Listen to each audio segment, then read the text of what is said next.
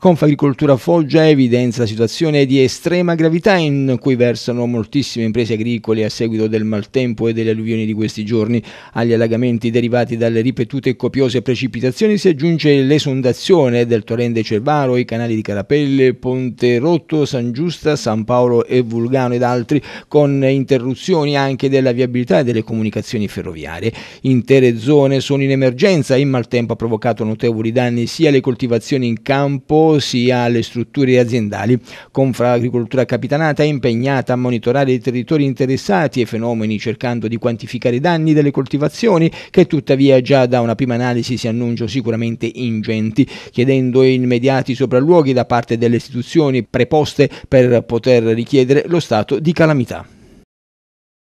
Amato Petrone, Protezione Civile Foggia, com'è la situazione dopo le ultime piogge?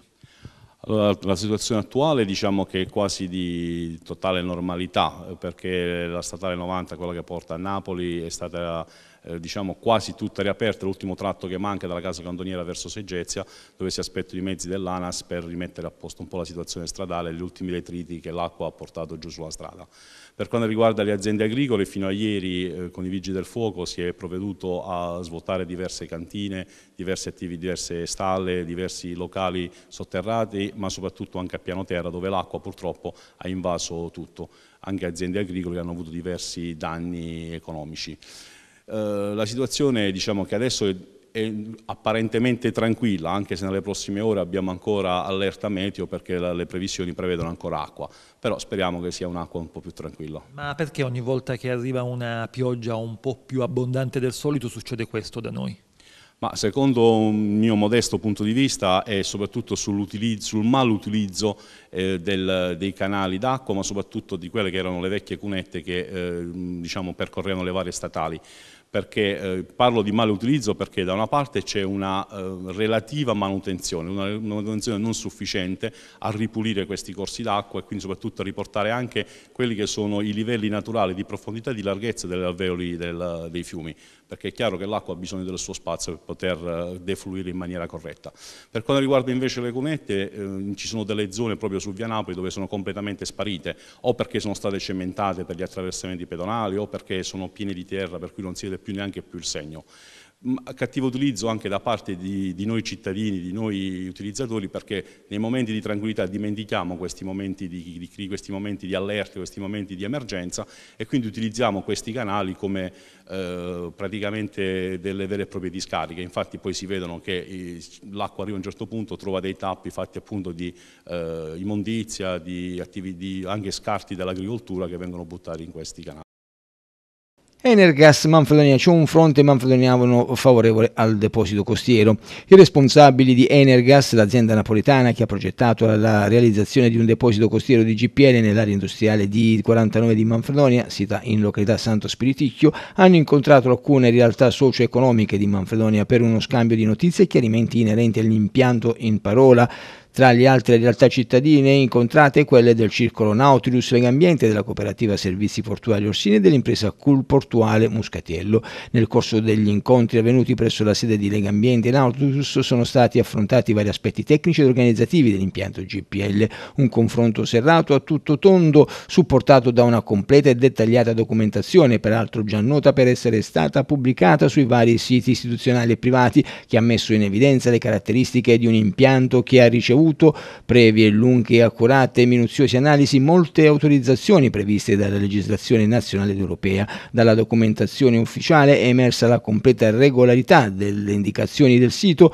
ove dove sorgere l'impianto, contestando pertanto il tentativo del Comune di Manfredonia e il tardivo provvedimento di cambiamento d'uso dei terreni interessati dal progetto GPL, così come è emersa la scrupolosa applicazione delle più avanzate tecnologie in fatto di costruzione e di sicurezza dei depositi interrati di GPL, un gas che lo stesso ordinamento della Regione Puglia classifica non inquinante. Dal parere del Ministero dell'Ambiente anche inoltre ci sono una serie di prescrizioni che vanno dal piano di monitoraggio ambientale alle misure di mitigazione e compensazione previste dalla direttiva Habitat Uccelli della Rete Natura 2000 per le aree del SIC. Un dialogo chiaro ed esoriente dal progetto che giustifica una ragionata adesione immaginazione libera al campo di azioni scenari immaginari sul frutto di illogiche e insensate considerazioni. Il deposito costiero Energas è dunque da considerare come una risorsa per il territorio in proiezioni futura, un volano per una decisa ripresa economica.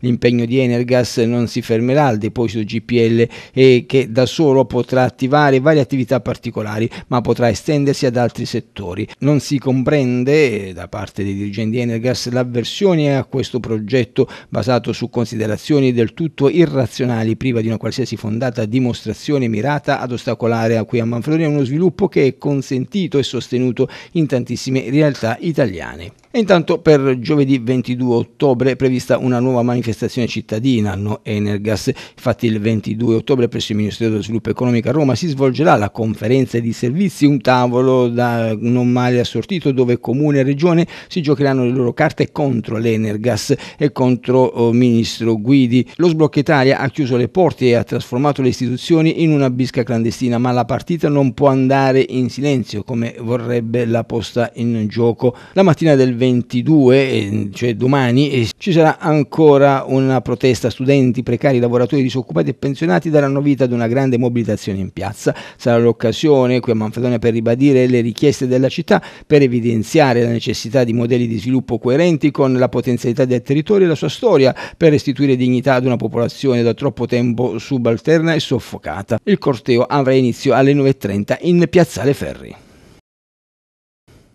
Precisazioni sugli impianti termici. L'assessorato del territorio e ambiente di Manfredonia comunica a tutti gli utenti possessori di un impianto termico o qualsiasi titolo che qualora nell'anno 2015 abbiano già effettuato operazioni di controllo, manutenzione ed efficienza energetica che o abbiano sostituito la caldaia o effettuato la prima accensione della caldaia di un nuovo impianto e siano in possesso di tutta la documentazione rilasciata dal manutentore, cioè libretto di impianto di climatizzazione e dichiarazione di controlli, che non dovranno ripetere le operazioni di controllo e manutenzione ma recarsi presso l'ufficio verifiche impianti termici sito al Palazzo della Sorgente e consegnare la ricevuta del versamento di contributo biennale pari a 16 euro. Si precisa che non saranno accettati eh, certificati rilasciati da manutentori non in possesso dei requisiti di legge innanzi richiamati. Si invita perciò l'utente a verificare che il manutentore scelto sia in possesso dei requisiti previsti dalla legge. Manfredonia dedica a Cristanziano Serricchio l'auditorium dei Celestini. L'auditorium di Palazzo dei Celestini sarà intitolato a Cristanziano Serricchio, lo ha deciso il Consiglio Comunale di Manfredonia per ricordare una delle figure più fulgide della nostra città, docente, preside, poeta, romanziere, drammaturgo, saggista, storico, archeologo, ispettore onorario dei monumenti e scavi di Siponto e tanto altro. Serricchio nella sua lunga e inattesa attività culturale è stato incarnazione di un modus operandi per far spavento per quanto spaziato in lungo e largo nel mondo del sapere sapere. L'evento, patrocinato dal comune di Manfredonia, avrà luogo sabato prossimo 24 ottobre. Per l'occasione saranno presentati due volumi, tutte le poesie di Cristanziano Serricchio, il mattino alle ore 11, mentre alle ore 17 la cerimonia di intitolazione.